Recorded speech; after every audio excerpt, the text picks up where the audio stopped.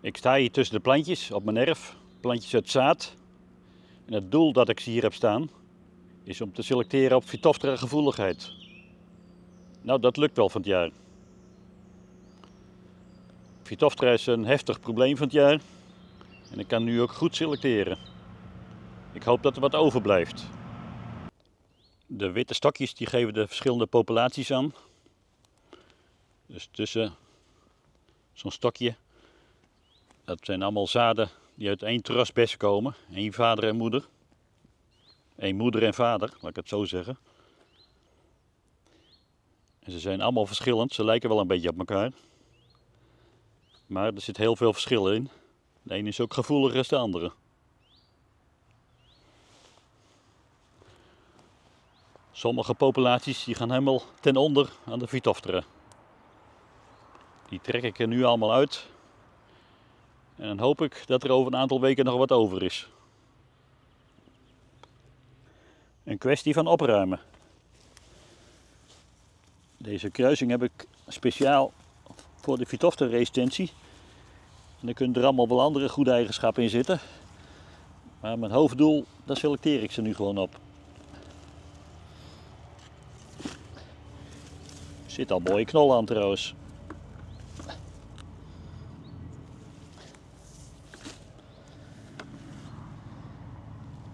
En er blijven ook nog planten genoeg over.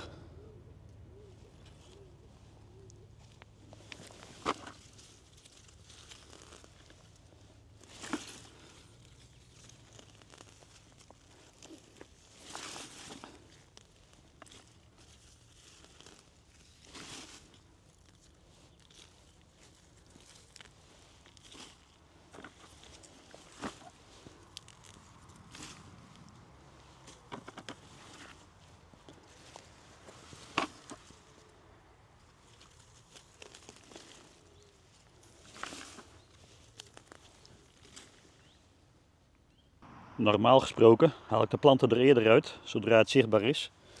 Maar ik wil ook wat laten zien, dus vandaar dat ik nu even een paar dagen niet getrokken heb. Maar zoals je hier ziet, dat witte pluis onderop, dan gaan ze alweer sporen leren. Dan kan je nog weer besmetting in de buurt krijgen.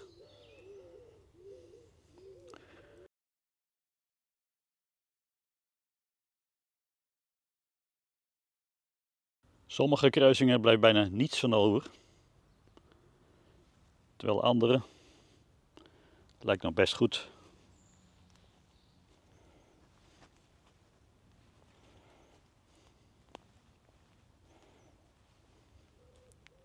Nu heb ik hier de lijst met hetgene wat ik uitgezaaid heb. Met eventueel resistentiegenen die erin kunnen zitten. Die ga ik dan weer gebruiken voor volgend jaar. Om te kijken wat ik uit ga zaaien. Ik heb allemaal kruisingen gemaakt. En er zullen natuurlijk kruisingen wezen die waarschijnlijk tegen gaan vallen. Dus dan ga ik de goede eruit zoeken om weer volgend jaar weer uit te zaaien.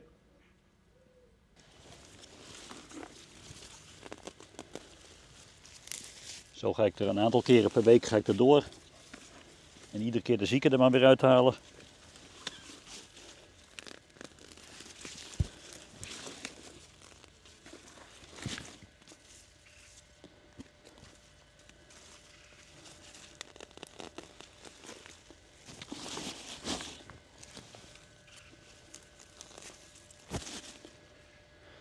En dan denken jullie misschien, word je daar niet moedeloos van?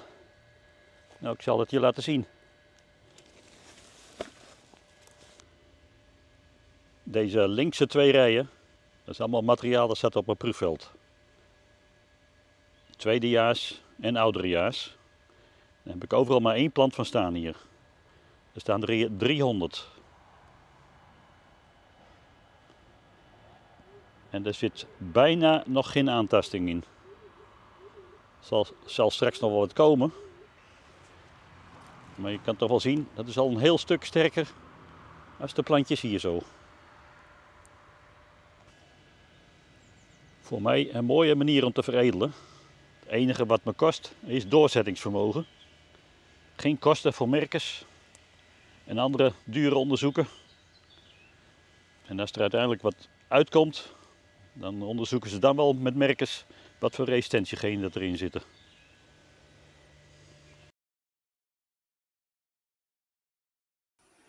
Bedankt voor het kijken.